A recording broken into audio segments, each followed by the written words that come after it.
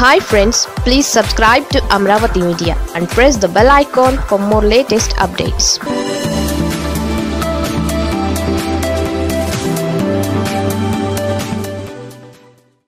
మూడేళ్ళ పాలన పూర్తయిన వేళ జగన్ ఎమోషనల్ ట్వీట్ జగన్ అనే నేను అంటూ సరిగ్గా మూడేళ్ళ క్రితం ఏపీ ముఖ్యమంత్రిగా బాధ్యతలు చేపట్టారు.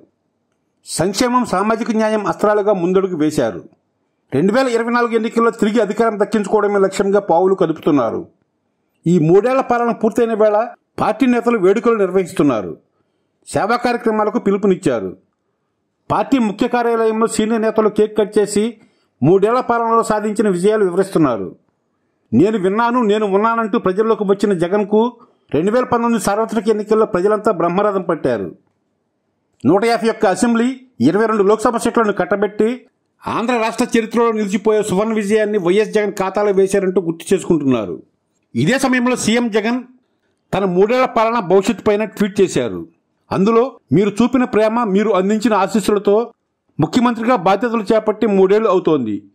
మీరు నాపై పెట్టుకున్న నమ్మకాన్ని నిలబెట్టుకుంటూ గడచిన మూడేళ్ళలో తొంభై ఐదు శాతానికి పైగా హామీలను అమలు చేశాం. ఎన్నో మంచి పనులకు శ్రీకారం చుట్టామని పేర్కొన్నారు. రాబోయే రోజుల్లో మీకు మరింతగా సేవ చేస్తానని మీ ప్రేమాభిమానాలు నాపై ఎప్పటికీ ఇలాగే ఉండాలని మనస్ఫూర్తిగా కోరుకుంటున్నానని ఆకాంక్షించారు.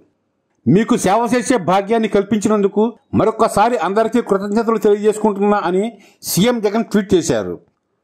సామాజిక న్యాయభేరి బస్సు యాత్ర పూర్తి చేసిన మంత్రులు అటు టీడీపీ ఇప్పుడు రెండు వేల ఇరవై నాలుగు ఎన్నికల లక్ష్యంగా సీఎం జగన్ టార్గెట్గా అడుగులు వేస్తోంది. సీఎం జగన్ తన రాజకీయ వ్యూహాలకు పదును పెడుతున్నారు.